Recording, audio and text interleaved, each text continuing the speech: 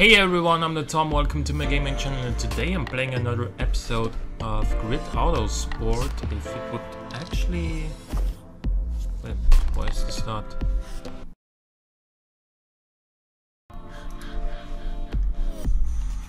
Welcome Okay, it back, works Tom. now. Go and have a look at what about that. offers are available this season. Anyway, uh, oh, we, we finished the last season, so we can.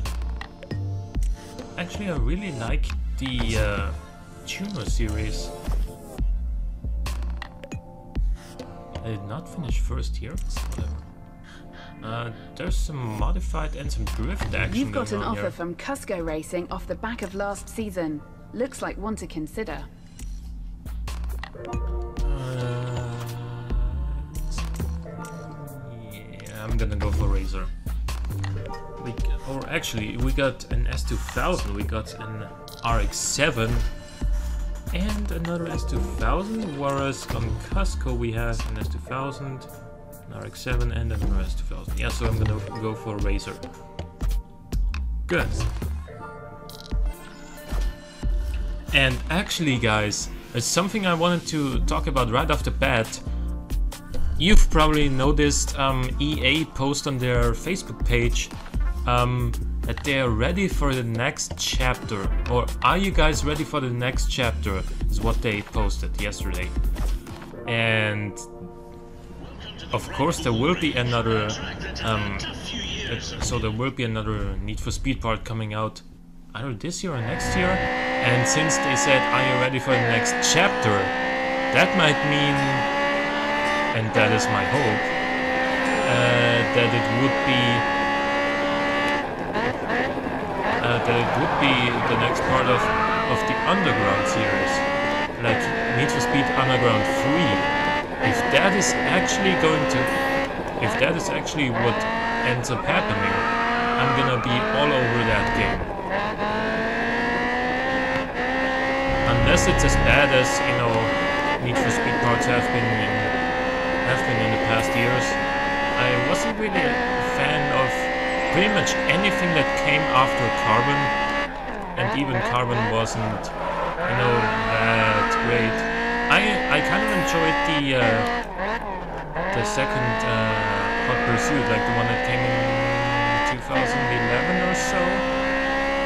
That was kind of cool, but other than that, you know, Need for Speed World wasn't really that good. And uh, other than that, like the other Need for Speed games, all kind of weren't what they used to be.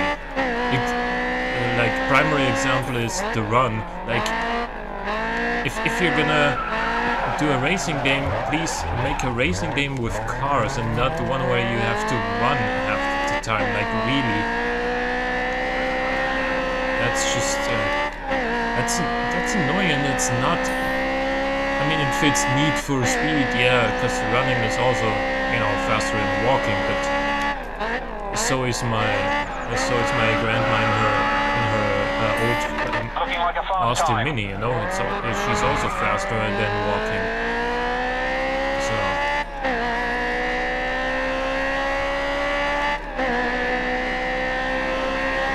You've lost a bit of pace on that lap. Let's pick it up. I need to uh, do in this sector. This first corner is quite tricky, actually.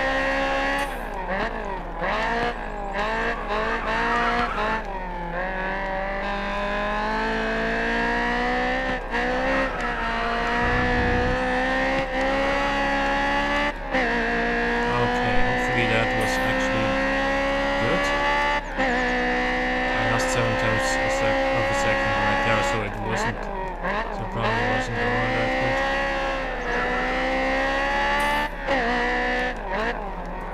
You're on pace.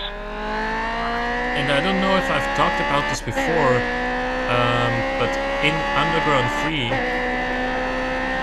like let's let's let's start the whole thing in this way.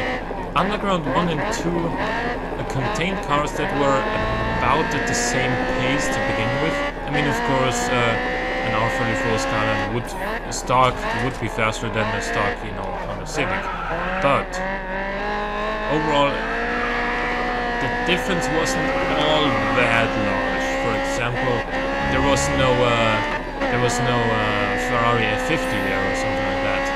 There was no, uh, you know, there was no uh, Jaguar XJ220. There was no uh, Dodge Viper or anything like that. Even though those cars existed back then. And uh, if if Underground 3 would like to follow that tradition, I think they should they should really consider um, keeping the spirit of the underground. You You know, need to dig like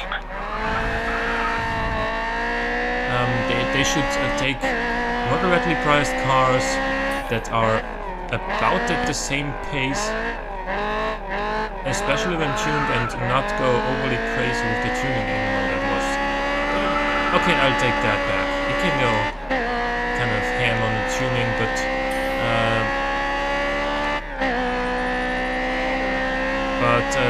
themselves, once they're all fully tuned, they should be somewhat comparable to each other. Unlike, you know, Need for Speed World, where, you know,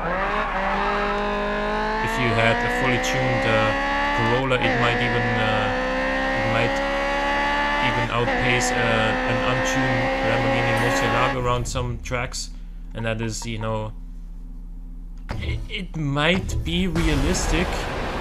However, um, if you have a fully tuned Murcielago and then you have an untuned, um, what was it? Yeah, McLa- no, Pagani Zonda Cinque, uh, then the Cinque would just would just destroy you no matter what. pressure. Get fifth or And that's that's kind of crap.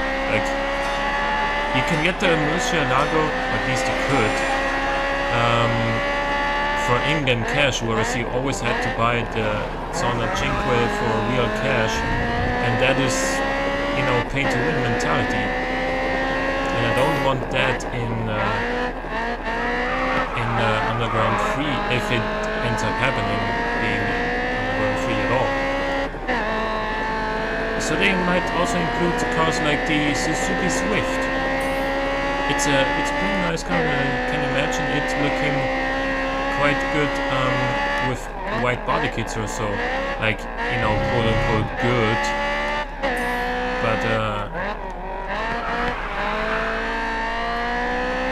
what I would also like to see in there is like a BMW 325i from the E46 generation not only because I love that car, but also because it would fit kind of the, the, the spirit of the game. Say it uh, it puts out 192 horsepower. That is kind of average for the cars I expect to see in there. It's rear-wheel drive, so it would be so it would have its advantages in the drift competitions, and you can you can white body kit it and make it basically look like a white body kit M3, which is not an ugly thing to look at.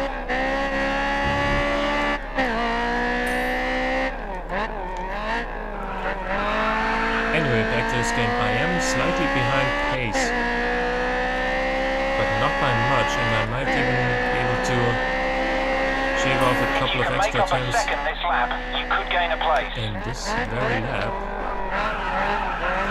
Not like this though. Need to brake earlier.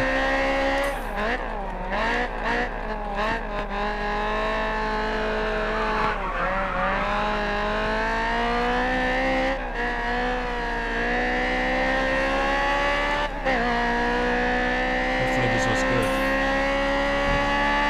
It was.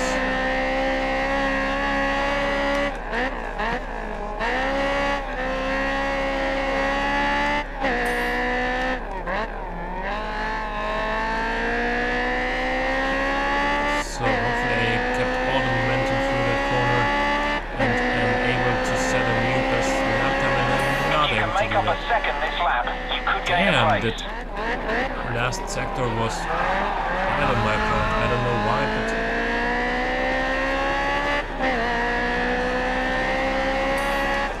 so this is lap four out of five. I really need to get something going if I wanna win this race.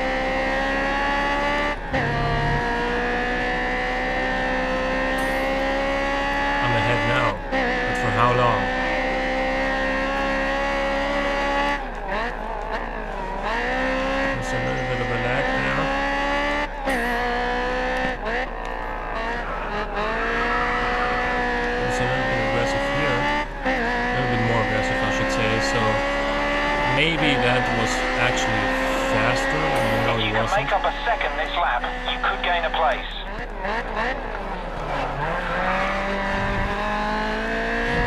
Why am I always so bad in this particular corner?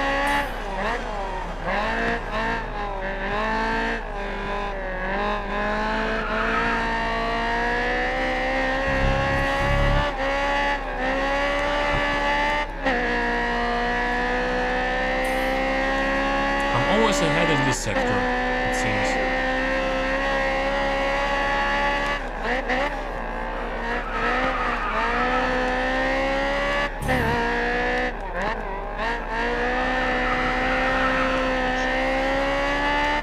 Let this be enough, please.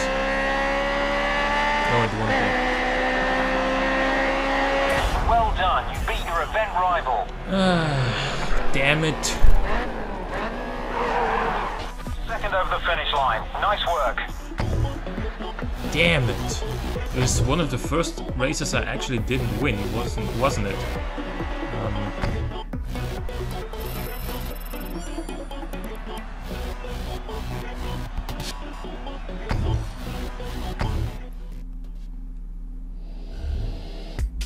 C2 drift, okay. Event 2 of 3. So we might get through this season all in one video which would be very exciting. Uh, yeah, but the races are getting more difficult, I can really tell you that much. We're currently fourth in the team standings. We're looking really strong right now.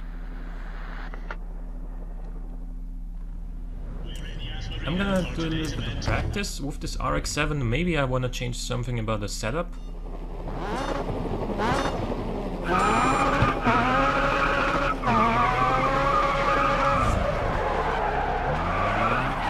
That's the inside marker bonus.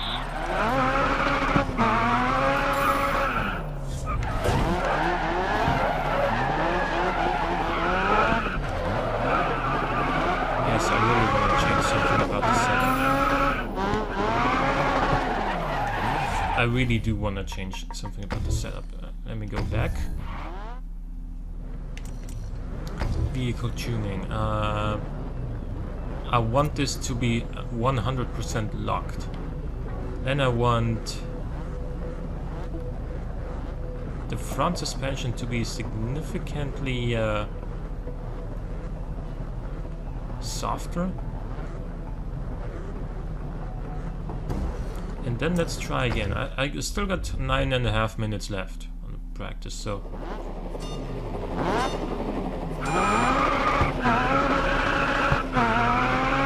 You picked up the outside marker bonus. okay. So there was a collision right there,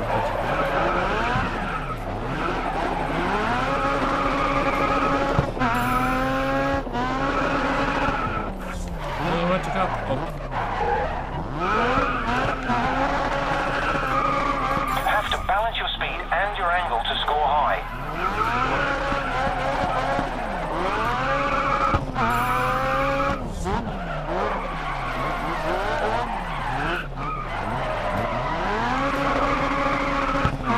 this is such a slow track compared to all the other drift stages. Good. Keep that speed up.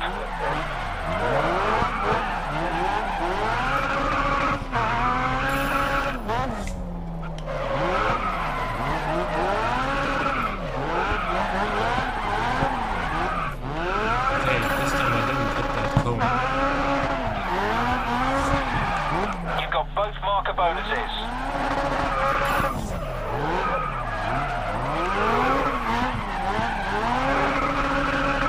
Slowly getting the hang of this. Damn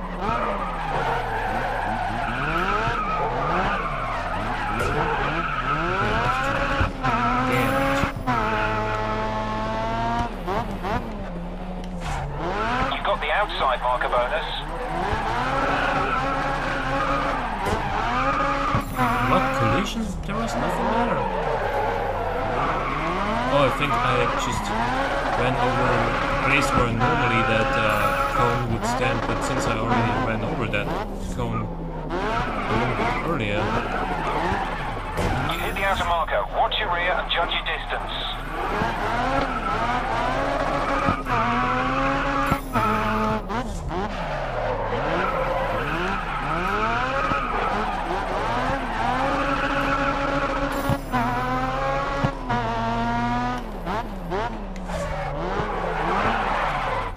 I'm getting a bunch of uh, understeer upon entry, so I think I might want to change the brake bias and move it further to the front, like that. And uh, let's soften this all the way up, front suspension that is, and go back to practice. I really don't want to lose this drifting which is why I'm practicing more.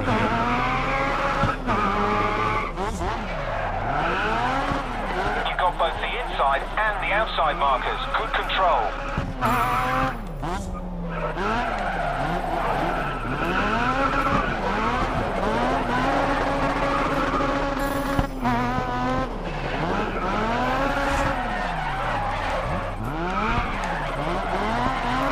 Great speed through that zone. Oh, off track. Oh my god. Damn it. Why does this all have to be so narrow? Well, did you see that? I just locked up the the tariff upon braking and car just understeered horribly. This is not what you would want from a drift car. That's exactly what you're looking for in competition.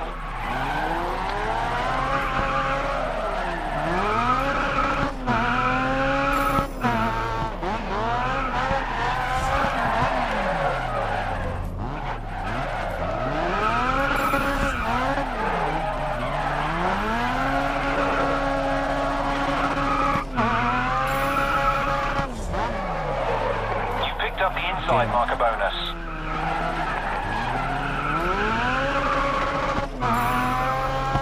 Okay, I think I can work with this now. Let's just do one more. lap.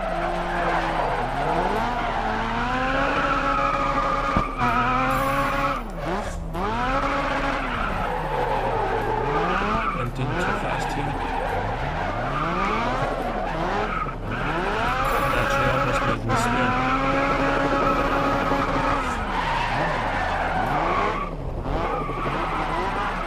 Great drift. That will get you a decent score.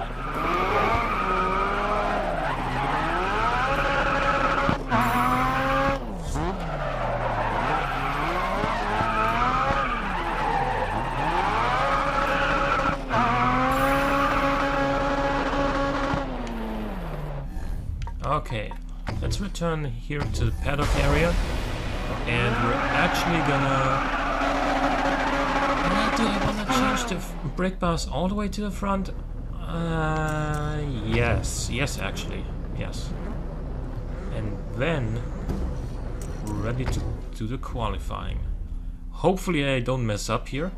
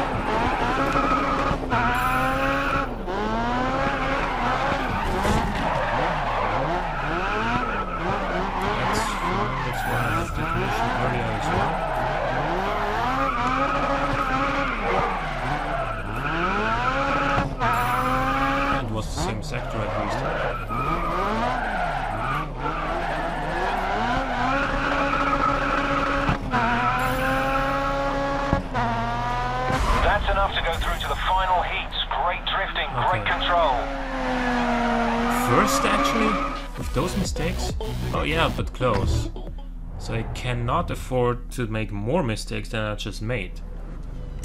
Uh,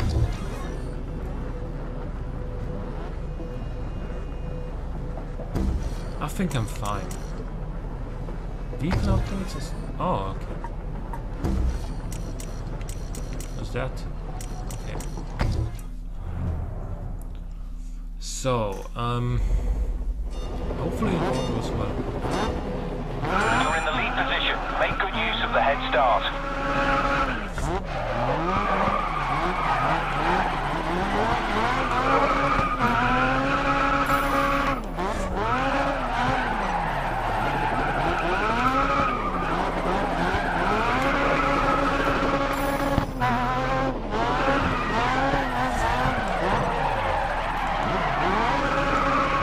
He said make good use of, of the head start and I'm actually not making good use of the head start.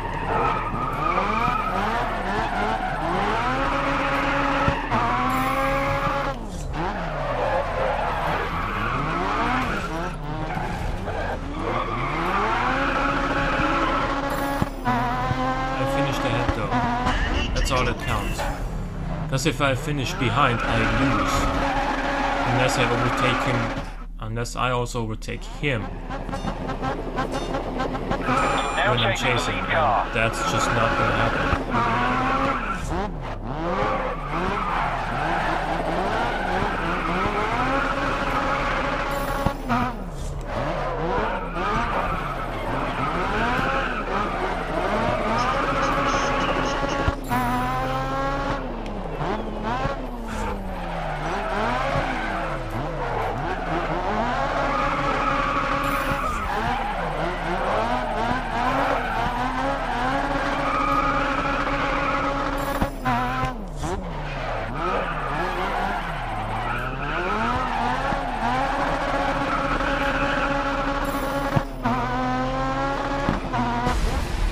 So that was that. 897 points in a second round. That's Through quite to the good. next round. Good work. Yeah, now nobody's really close to me in score. So continue continue doing this as well as I currently am, or better, You're in the lead position. and I'm fine.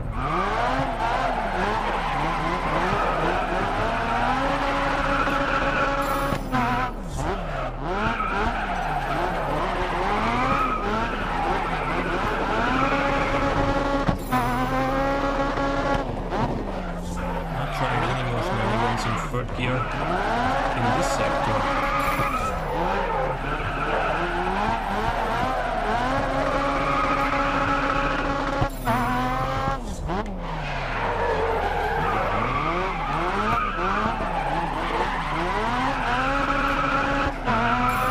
This was a quite, this was a pretty good run.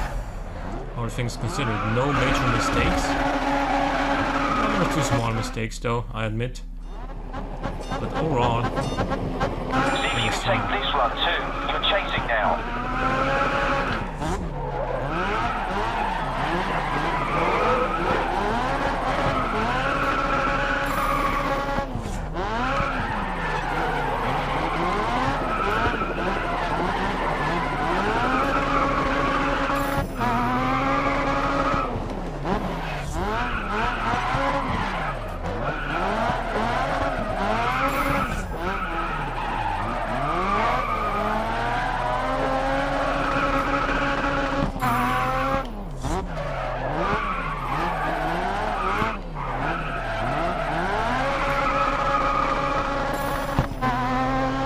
this was a f- really good run, actually.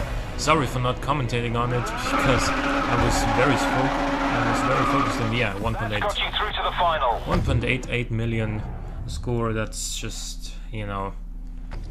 I don't think anyone of the AI is gonna get close to that if I can repeat this performance.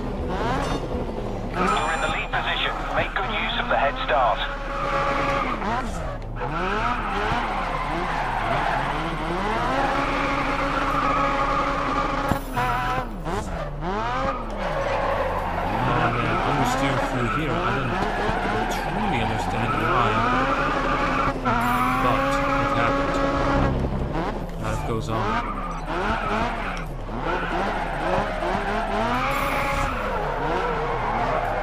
Some more understeer for that one. I dislike that.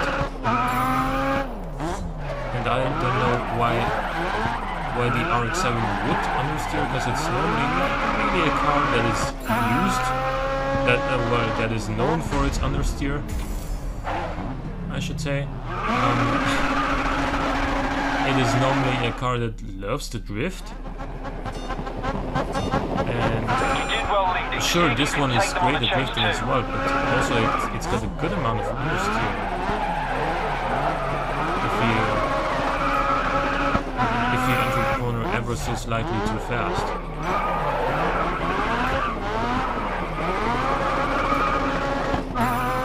This wasn't my best performance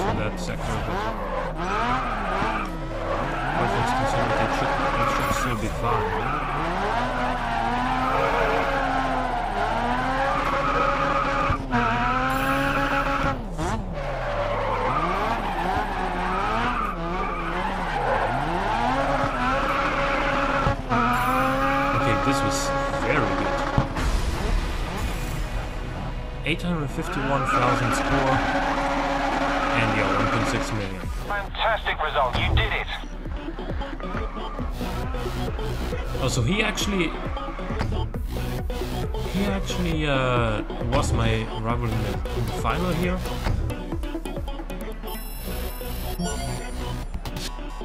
Complete run without penalties. Only did that twice. Okay, whatever. Tuner. So this is an this is another time attack race. I hope I can do well here.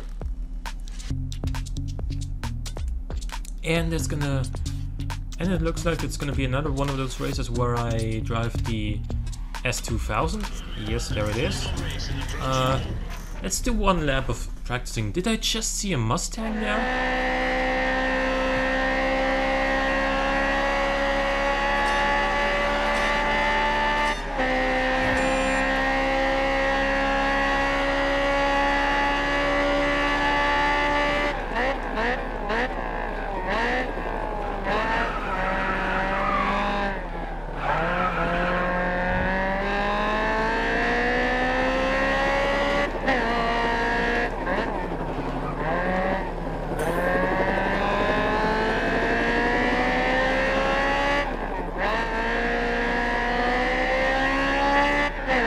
I kind of like these uh, kind of race classes that are that are using stock or almost stock cars, like like this, like this one.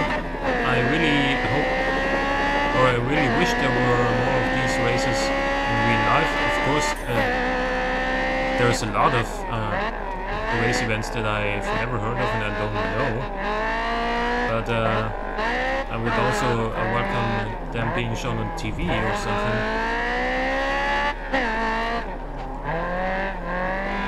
Because racing with with cars that you might also find on the street is something that kind of something that very much interests me because this really isn't because that really wouldn't be you know a thing that only the privileged people can do because proper race cars are very expensive and it's Great lap time. Competitive.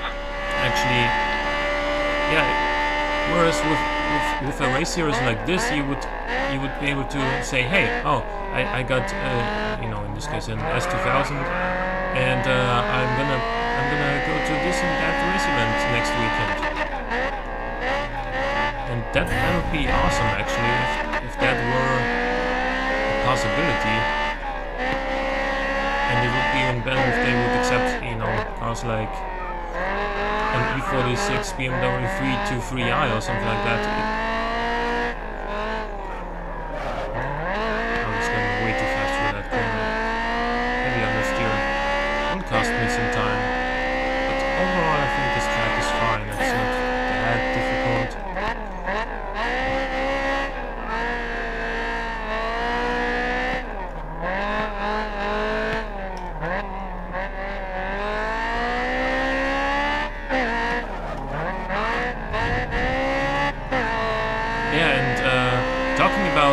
differences with uh, stock or near stock uh, cars.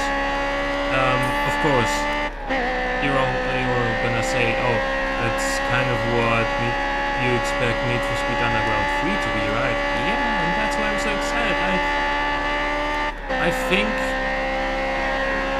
you know, I've stopped watching uh, Formula One a long time ago because I just think it's kinda boring. Because all these cars, I mean, while they are incredible uh, uh, technological achievement.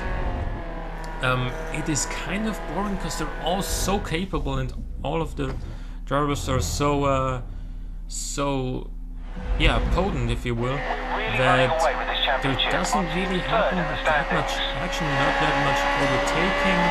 Um, once you know Lewis Hamilton or Sebastian Vettel in his in his uh, best times gets a pole position and gets a head start, the race is basically over. And uh, I, I just I just like uh, these these uh, classes more for you know the fact that they're more open, that there's more variety in cars, cause, because stock cars are allowed within a certain range of you know within a certain uh, range of performance, obviously, because you can't compete, uh, say, a Lamborghini Aventador with uh, with you know a, uh, a Ford, Mustang EcoBoost. You can't compare those two cars. That being said, you can, for example, uh, compare a. Ford, Ford Mustang EcoBoost with something like a BMW 328i of, of th- th- this current generation. Or you could compare it with, uh, you know, other Japanese cars. I'm not that well informed about. You know, the GT86 wouldn't really be a match for for those cars, I think. Or maybe it would. Let's count it in. Or you could also run a, a Subaru WRX in that in that class. There would be so much more variety, and you know, each car has its own uh, strengths and weaknesses. Whereas in Formula One, there's not really that, that much room for variety. The rules are very strict, and of, of what the car is allowed to and is not allowed to have or be. And, and therefore, I, I wish for more for a more tolerant racing series that would probably also be kind of uh, interesting to watch. I think. This was just me being especially greedy on the father, exceptionally greedy, I should say. And yeah. How's this going? I'm actually quite far ahead now. I wasn't that much and that far ahead. I was actually uh, behind before that. But now let's just not make any mis- mistakes and uh, finish this lap appropriately and hopefully in the lead.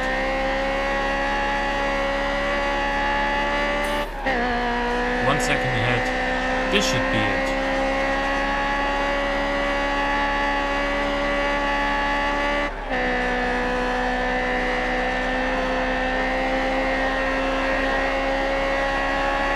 Yeah, there we go. First.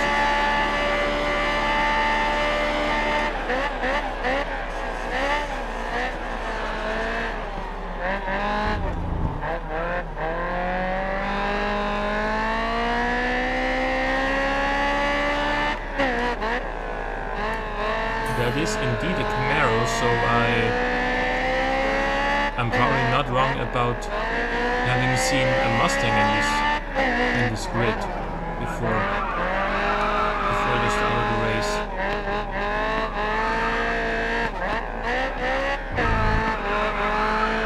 I don't know if you can really compare a Mustang or a Camaro to an S2000. I guess you can because those cars are faster in pretty much no doubt about it. But the, the S2000 is way lighter and therefore better on the brakes and on and in the corners.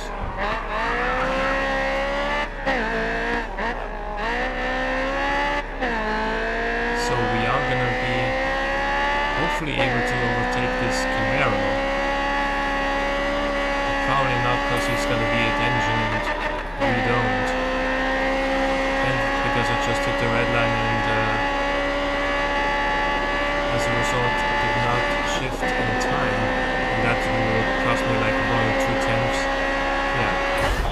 Nakamura will be replaying that over and over. Great So win. we we won this race as well. You finished the season on a high and hit your team target.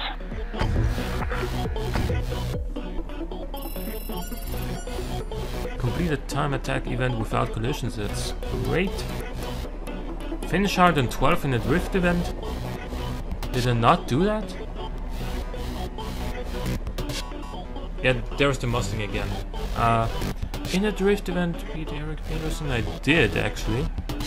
Oh, whatever. Okay. Because I beat everyone. Um, end of season 8. You've made a real impact in this discipline.